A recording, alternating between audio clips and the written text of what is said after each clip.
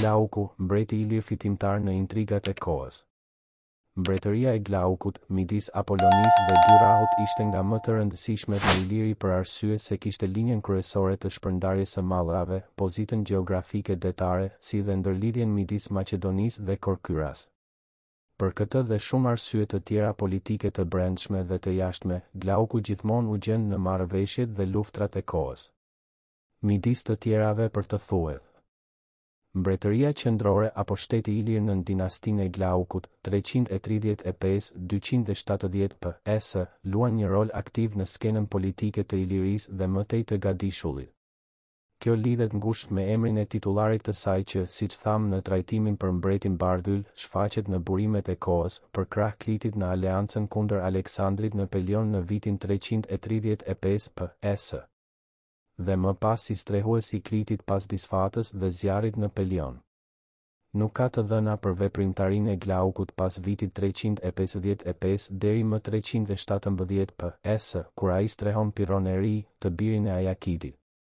Sipas Diodorit, Pirro dyvjeçar nuk mund të qëndronte më në Epir pas rrëzimit nga froni të atit të tij sipas një vendimi të përbashkët të epirotëve, por në realitet ai u rrëzua nga Kasandri i Maqedonisë. Mbretëria Taulante apo shteti ilir i vijueshëm, gjendej në kufijtë e Epirit, çka sillte marrëdhënie të dendura mes dy entiteteve shtetformuese. Këto marrëdhënie ishin shprehur edhe në martesat mes familjeve mbretërore, pasi Glauku ishte martuar me Berojën, princeshë Ajakide. Në raportin politik me jashtë, strehimi i Pirros nga Glauku tendoste marrëdhëniet me Maqedoninë për rrethanat e asakohshme, për sa kohë Pirro nuk ishte ngjitur në fronin e Epirit.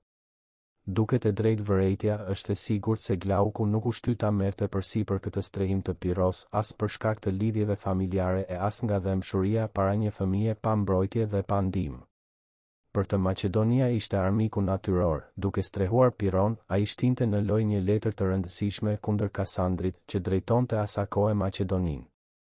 Dhe vërtet konflikti mes Glaukut dhe Kasandrit u intensifikua në vitin treqind e katërmbëdhjetë, kur ky i fundit i diktoi Glaukut një traktat asnjanësie në lidhje me Epirin, pasi Apolonia me sulm dhe në Dyrrah u vendos një garnizon. Kështu Kasandri bëhej zot i dy qyteteve ndër më të rëndësishmit në Adriatik. por një vit më vonë Glauku gjendet përsëri para mureve të Apollonisë dhe, me ndërmjetësinë e spartanëve, pranoi të heqë rrethimin dhe të lidhë me apolloniatët një traktat paqeje. Ndërkohë vetë apolloniatët dhe dyrahasit ngrenë krye kundër maqedonëve dhe dëbojnë garnizonet e tyre nga qytetet, sipas Diorit, një rol në këtë zhvillim kanë korkyrasit që çliruan Apolloninë, kurse Epidaminin ia dorëzuan Glaukut, mbretit të ilirëve. Kjo shpjegohet me interesat e tyre për të mos lejuar daljen e maqedonëve në Adriatik.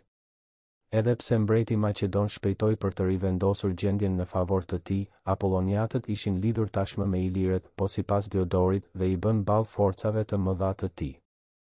Apollonia, ashtu si dhe Epidamni, praktikisht pas këtij zhvillimi u futën nën zotërimin e Glaukut, i cili bëhet kështu zotërues i këtyre dy qyteteve të mëdha, të njohura edhe si koloni helene. por që për mendimin tonë duhen vështruar në një optikë tjetër, siç thamë më lart. Vendosja e Pirros në fronin e Epirit shpreh edhe njëherë synimet dhe interesat politike që Glauku i kishte caktuar për politikën e shtetit të tij, pas fitores mbi Kasandrin dhe vendosjes së kontrollit mbi dy qytete aq të rëndësishme si Apollonia dhe Dyrahu. Në këndvështrimin e tij politik, i duhej të shkëpuste Epirin nga ndikimi maqedon dhe ta kthente atë në një aleat që i siguronte një pozitë të favorshme në kufijtë jugorë. Këtë e realizoi në vitin treqind e shtatë PS, kur me një ushtri të madhe hyri në Epir dhe, pasi fashiti kundërshtimet e palës promaqedone atje me Alketën në krye, vuri në fronin e mbretërisë Pirron dymbëdhjetë vjeçar. Glauku kështu arriti të kurorëzojë gjithë veprimtarinë politike që zhvilloi në mënyrë të dendur për rimëkëmbjen dhe forcimin e pozitës së mbretërisë së tij. Gjatë mbretërimit të Glaukut, mbretëria ilire përjetoi ditë lavdie dhe u bë një shtet i fuqishëm, që shtrihej nga kufijtë me Maqedoninë dhe Epirin e deri në brigjet e Adriatikut. Karakteristikë e sundimit të tij është shtrirja e sovranitetit që ai drejtonte mbi Epidamnin dhe Apolloninë. Ndërkohë që në këtë qytet shihet të shumëfishohen lidhjet me taulantët si dhe me grupime të tjera më të largëta ilire. Ilirët tashmë në qytet jo vetëm kishin të drejta të njëllojta me helenët e ardhur nga Korkyra, por zunë vende edhe në qeverisjen e qytetit, duke u bërë deri dhe pritan. Mbas shekullit iv, në udhëheqje të qytetit gjenden një varg ilirësh nën emrat Gent, Preurat, Falkrion etj.